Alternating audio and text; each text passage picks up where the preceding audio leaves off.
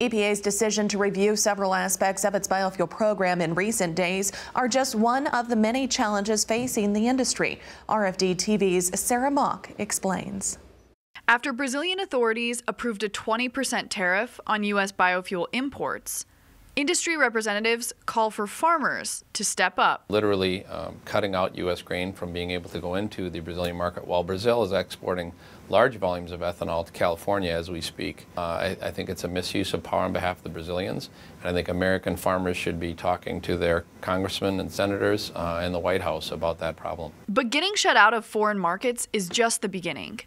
Renewable fuel levels announced earlier this year dismayed the ag community, spurring more groups to back the policy. The EPA reduces the total renewable fuel volume.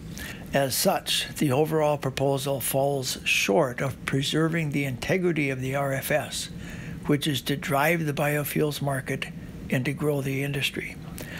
As family farmers navigate a severely depressed farm economy, this is a time the administration should be raising expectations for a policy that drives many economies in rural America. And industry representatives say supporting biofuels isn't just good for farmers, it's also critical for rural communities.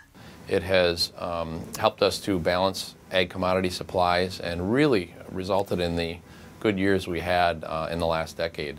Today we're facing an oversupply situation uh, in agriculture uh, where there are far too many commodities available both in the U.S. and around the world.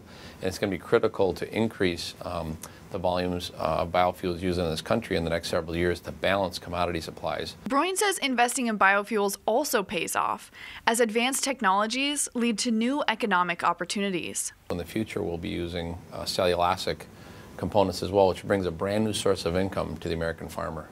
So uh, around Emmetsburg, Iowa, where today we're using uh, about 700 bone dry tons a day at that facility, um, we're creating a brand new source of revenue for farmers. And I think in the future, the great thing is we can replace more and more oil.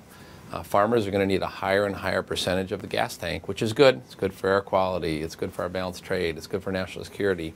It's good for creating jobs. The livestock industry continues to be a critic of the renewable fuel standard saying it artificially raises the price of livestock feed. But Broin warns that begrudging grain farmers a profit now will likely have long term negative effects on the industry as a whole. For RFD TV, I'm Sarah Mock in Washington.